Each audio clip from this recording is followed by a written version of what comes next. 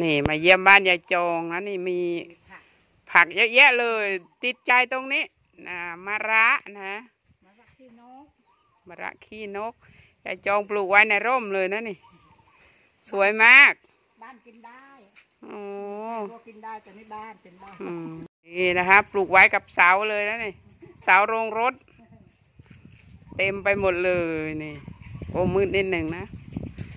เพราะว่ามันในร่มนะคะดูปลูกสุดเลยนั่นอนี่ยู่ในบ้าน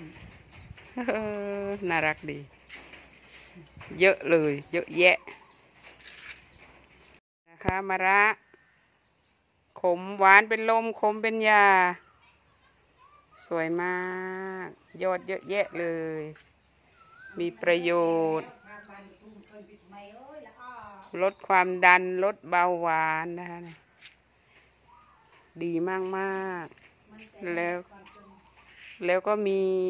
เส้นใยที่ดี ป้องกันโรคมะเร็งได้นะเนี่ยนี่สวนเศรษฐกิจพอเพียงของยายจองดูพริกสิ สวยสดงดงามมากเลย อุ้ยข้าวโพดอีก อือหือสุดยอดเลยอ่า แล้วนี้ก็คือมันสำปะหลังนะคะมีถั่วแซมด้วย ถั่วนี่รู้สึกจะวายแล้ว เกือบสุกแล้วนะแสไว้ทำพันธุ์หรือเปล่าสมประสานหลายอย่างเลย ดมสมบูรณ์มาก